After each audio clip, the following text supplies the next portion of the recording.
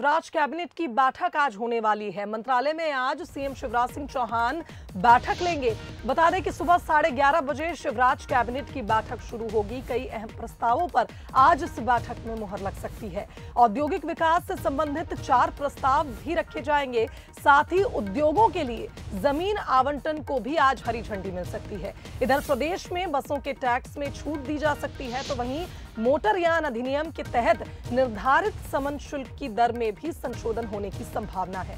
इधर, इसके अलावा अगर हम बात करें तो अदालत में सरकार की पैरवी करने के लिए अतिरिक्त महाधिवक्ता के तीन और उप महाधिवक्ता का एक नया पद भी आज कैबिनेट स्वीकृत कर सकती है। साथ ही संविदाशाला शिक्षकों को प्राथमिक शिक्षक का वेतनमान का प्रस्ताव भी आज कैबिनेट में रखा जाएगा। तो इस तरह से आज की कैबिनेट की बैठक काफ़ी अहम मानी जा रही है। औद्योगिक विकास से लेके बस के टैक्स में छूट तक तमाम ऐसे प्रस्ताव हैं जो आज पेश होंगे और इन पर मुहर लग सकती है।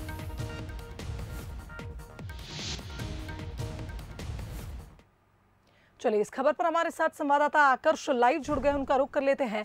आकर्ष, आज कैबिनेट की बैठक होनी है, कई ऐसे प्रस्ताव हैं जिन पर आज मुहर लग सकती है। साथ ही साथ अगर हम बात करें तो महाधिवक्ता का एक नया पद भी स्वीकृत हो सकता है।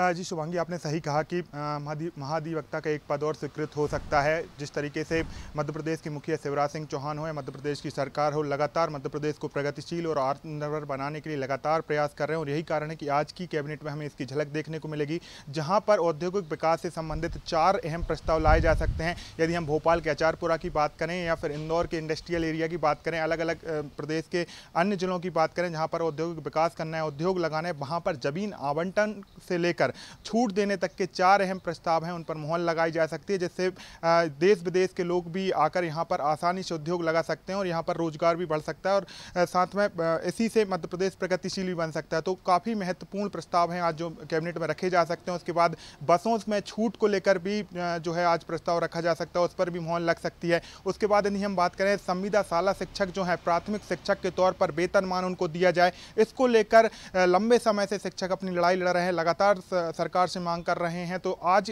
कैबिनेट में इस पर भी मोहर लग सकती है, उनको उनका वेतनमान दिया जा सकता है। उसके बाद यदि हम बात करें मोटर ऑयल अधिनियम जो है, उसमें भी संशोधन किया जा सकता है। तो इस तरीके से अलग अलग जो प्रस्ताव है, उन पर तो मोहर लग ही सकती है। उसके साथ ही मध्य प्रदेश में यदि हम बात करें कि तमाम क्षेत्रों में गर्मी के समय में पानी की जो कमी देखने को मिल रही, उसको लेकर चर्चा हो सकती है। एक बार फिर हम देख रहे हैं, इंदौर, भोपाल जैसे शहर में फिर से कोरोना ने रफ्तार पकड़ी है तो मंकी फॉक्स से लेकर चिकन फॉक्स का भी यहाँ पर डर बना हुआ है। तो तमाम अहम जो मुद्दे हैं जनता से जुड़े हुए जो मुद्दे हैं उन पर तो चर्चा की जाएगी। साथ में मध्य प्रदेश को किस तरीके से प्रगतिशील बनाना है आत्मनिर्भर बनाना है उसको लेकर जो प्रस्ताव आज की बैठक काफ़ी अहम भी मानी जा रही है। बहुत बहुत शुक्रिया आपका और बने रहिए हमारे साथ और भी अपडेट आपसे लेंगे। तो देखिए आज की कैबिनेट बैठक काफ़ी अहम है।